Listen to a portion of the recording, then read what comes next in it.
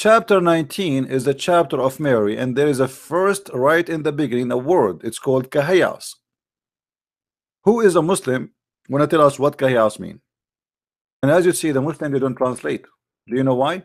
Because they cannot understand what is that. What is the secret with this kahayas let us explain easy what kahayas mean. Please look with me here.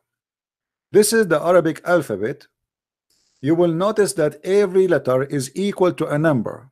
This is a method created by the Aramaic people. What simply this does you can write a sentence by coding. The Aramaic they were very very very smart people. In case you do not know many of you right now speak Aramaic but you do not know it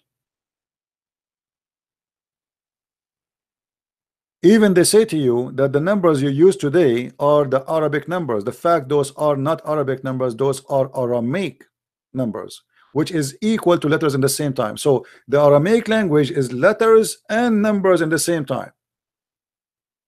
So to make it simple for you in the old days you can use a letter to say one.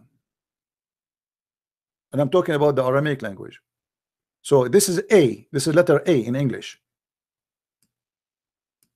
Letter A is equal to 1. All right. So the Aramaic they created a special way of coding and it goes as the following. A is equal to 1. Second letter is B equal to 2.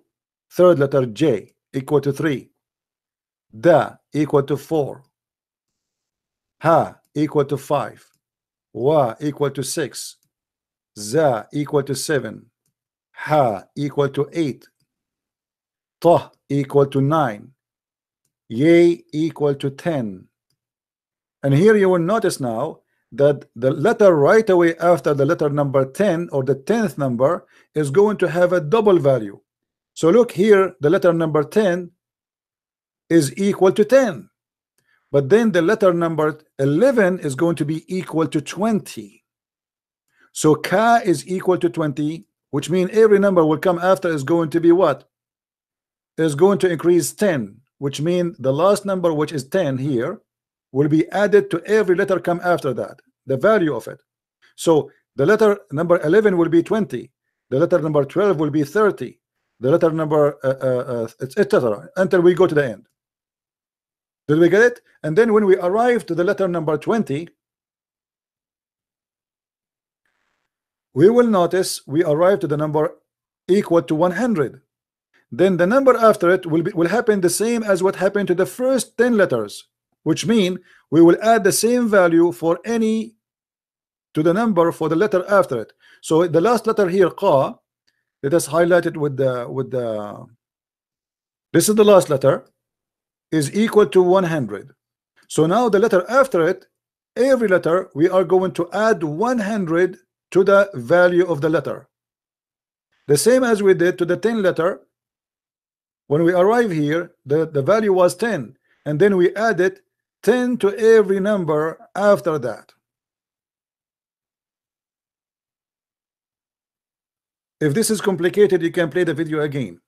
So now after the number qaf which is equal to 100 the number that after that will be ra and that will be equal to 200 and sha will be equal to 300 ta will equal to 400 tha will equal to 500 etc until we arrive to the end and then we will reach the end of the alphabet.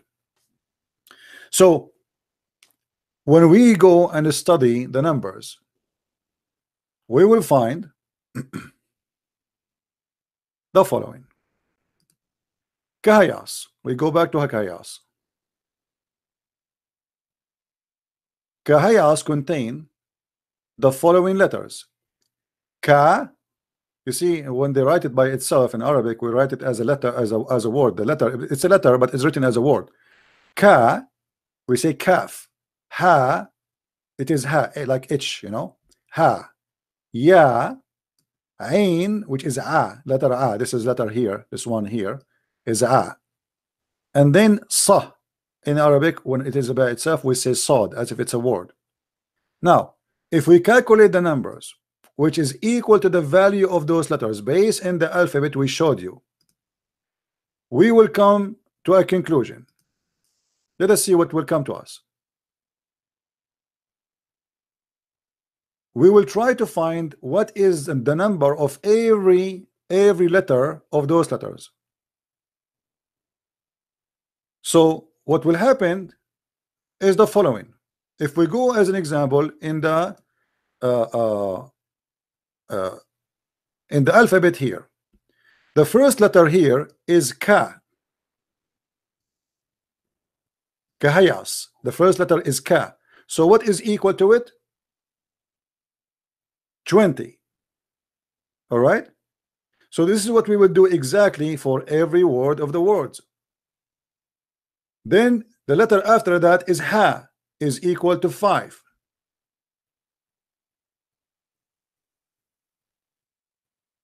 and now what letter I'm talking about? The letters we have in the Quran. Kahayas. All right? So we start calculating those letters and then we will come to the total number of the letters. The total will be as the following. 20 plus 5 plus 10 plus 70 plus 90 the equal will be 195 let us put it in the screen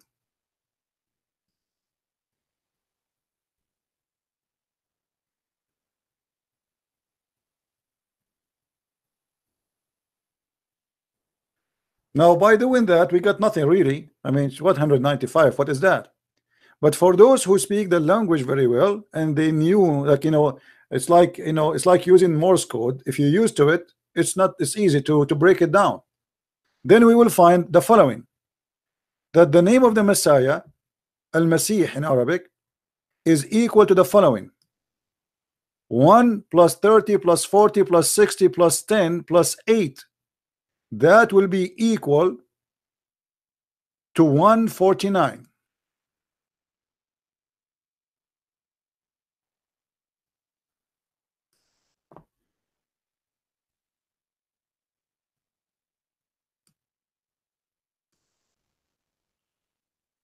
then the word which is the following 1 plus 30 plus 5 plus 10 is equal to 46.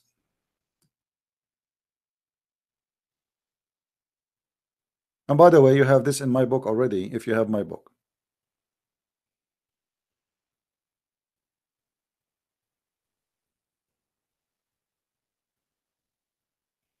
I'm trying to make it clear in the text here. We want to make the screen bigger.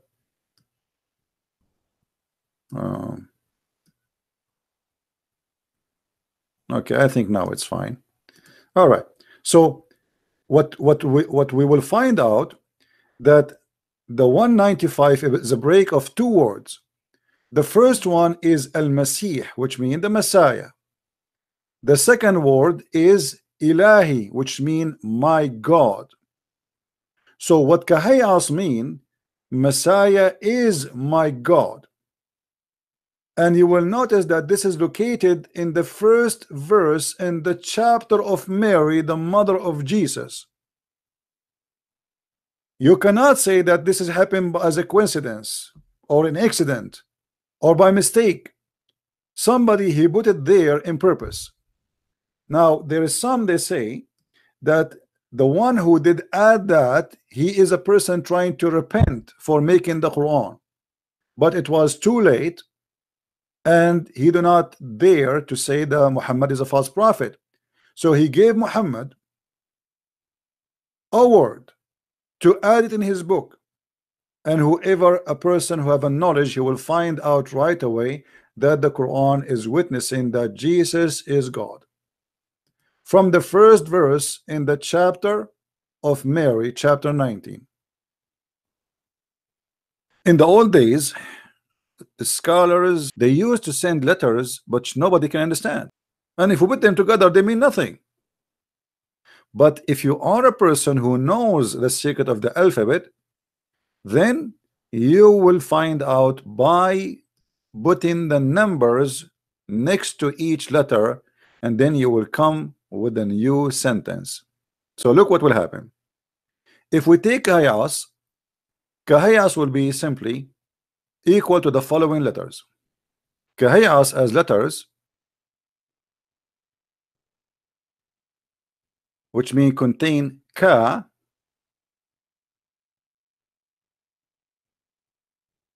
ha ya ain sa or sod. If we calculate the numbers of those we will come with the number 195 195 is equal to the following sentence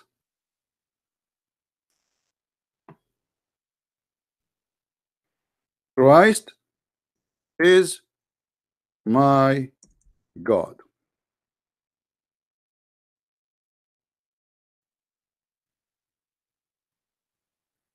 And you are telling me I cannot find you that Jesus is God in the Quran? Muhammad the thief, he copied this sentence and those words from Waraqa ibn Nawfal, who is a Nasara. It is written in his book and he have no idea what is that. He took it, he put it there. And notice that this is the chapter of Maryam, the mother of Jesus. It's not a coincidence. It's not an accident. It is meant to be in the first verse of the chapter speaking about Mary. This is something is taken from the Aramaic. Muhammad, he have no idea what is that. He is a copy thief and he got himself busted. And we see this right in the front of our eyes in the first chapter, in the in the first verse in the chapter of Mary, the mother of Jesus. And the Muslims until now they try to give you their own gossip, guessing, trying to fight this. What is this? What is that? But they cannot. Because Muhammad is a thief, he stole it from the book of Waraqa ibn Nawfal.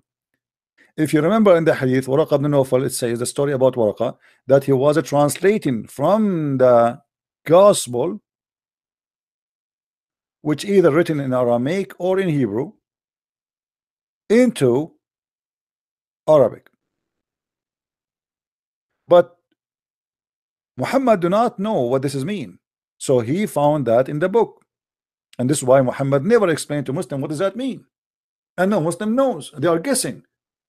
And this is why when they translate, they cannot uh, they cannot give you a meaning of the of, of the because they are just letters, mean nothing. Kahayas. And they are written in the Quran as one word, not as letters, as you see in front of us. My friend, God don't leave himself without witnesses, even in the book of the devil. This is why we say here we are a free school for those who they are like to learn how to defeat the cult of Islam. Islam is a very easy cult to defeat, but if you don't have knowledge, you cannot defeat it.